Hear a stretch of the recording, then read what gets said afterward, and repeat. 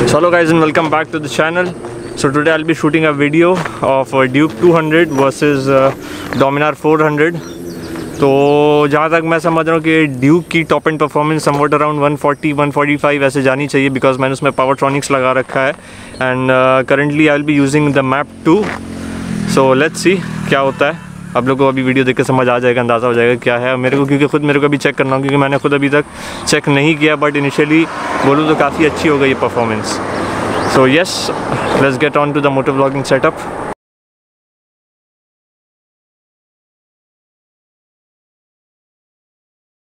So here is my Duke 200 and there is a Dominar 400 it is not a UG model and this thing is loaded with Powertronic so let's see the difference between the two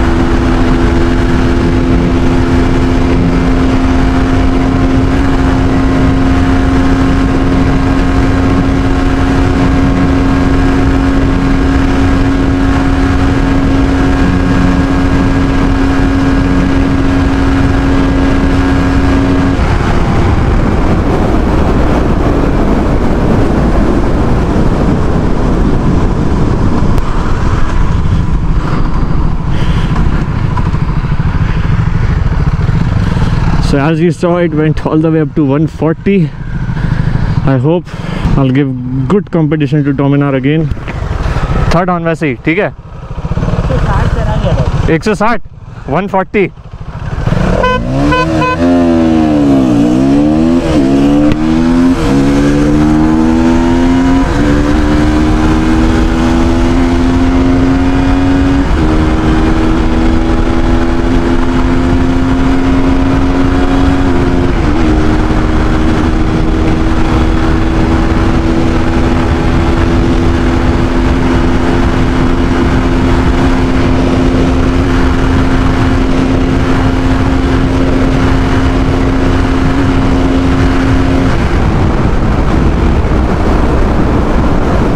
So it went all the way up to 136, 37. So finally guys just broke the speed limiter finally.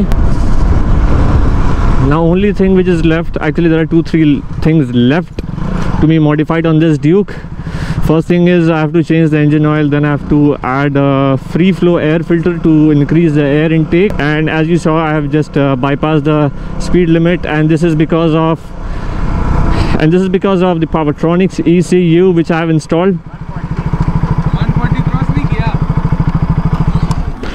जाते हुए 140 हाँ। वापसी में 137 actually जाते हुए क्या हुआ ना सेकंड गियर में ना मतलब समझ लो झटका दे दी थी। मैं मतलब गियर चेंज नहीं किया था ऑन टाइम जाते हुए 140 मतलब और जाती है। असल में आगे क्या है ना बहुत पहले से ना बहुत पत्थर रखे छोटा छोटा स्लिप खाने का डर था इसलिए फिर छोड़ भी दिया। स्टार्टिंग में बैलेंस बिगड़ जाता है एकदम। बट बहुत सही है क्योंकि डोमिनार के ना मतलब ज़्यादा डिफरेंस नहीं था समझ लो। इनिशियली इसका इनिशियल बढ़ गया ना क्योंकि गियर रेशियो इसका बढ़ चुका है। पहले मेरा 38 जाता है अब 50 जा रहा है। और तुम्हारा यहाँ पे अगर इसी जगह आर सी टू हंड्रेड होती हाँ। तो मैं समझता हूँ 145 तो इजीली बहुत ही इजीली क्योंकि तुम्हारा स्टॉक में भी यहाँ पे दो तीन बार झटका दे देती है रेवलीमीटर आ जाता है। भाई दो से ज़्यादा बार दे देता हूँ। और ड्यूक में क्या होता है इस स्ट्रेच पे एक बार मैक्स टू मैक्स दो बार हाँ। क्योंकि एरोडायनेमिक्स नहीं है। मेरा तो भाई समझो आधा रास्ता एक मतलब So these were the results on map 2 and uh, actually there are two preloaded maps map 1 and map 2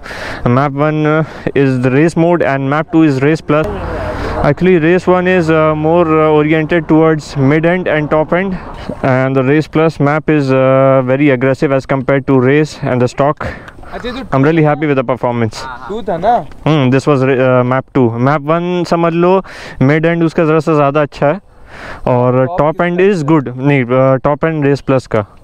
जहाँ तक मुझे समझ आया। बाकी पे करके देख लो एक बार।